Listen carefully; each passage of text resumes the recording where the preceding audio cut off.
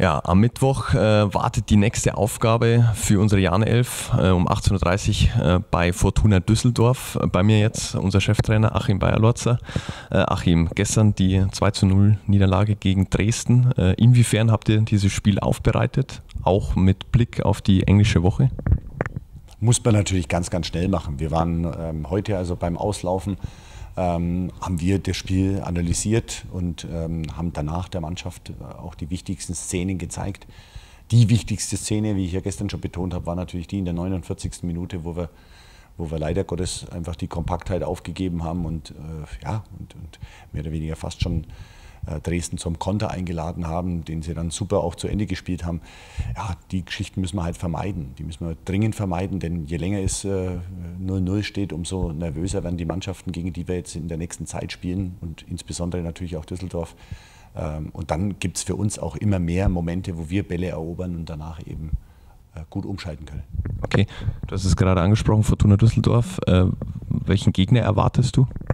Ja, ist ein spielstarker Gegner, Top-Stürmer vorne drin mit Hennings, aber auch so insgesamt richtig gute Jungs.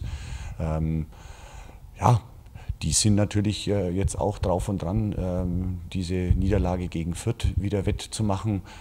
Könnte natürlich auch eine Chance für uns sein, ähm, aus dieser Kompaktheit, wie es gerade schon gesagt hat, aggressiv in den Zweikämpfen zu stehen und Bälle zu erobern und, und, und dann eben schnell nach vorne zu spielen. Ähm, die wollen sicherlich zu Hause gewinnen. Und wie können wir äh, sie vor Probleme stellen? Also was ist der, der Schlüssel? Oder der ja, wie ich es gerade schon gesagt habe, die Kompaktheit ist der Schlüssel. Ja, wir müssen geduldig sein, wir müssen äh, ganz enge Abstände haben äh, zu den Gegenspielern, die Tiefe sichern, denn auch da wird es den ein oder anderen weiten Ball über die Kette gehen.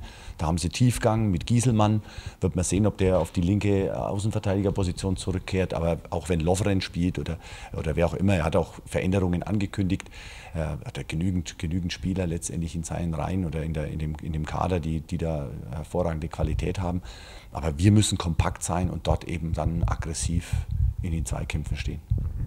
Wir hoffen auf die äh, nächsten drei Punkte auswärts. Wer nicht live vor Ort ist, äh, die Jahn-Medien sind auch wieder dabei, äh, Turmfunk und Live-Ticker. Und dann hören wir uns am Mittwoch. Danke.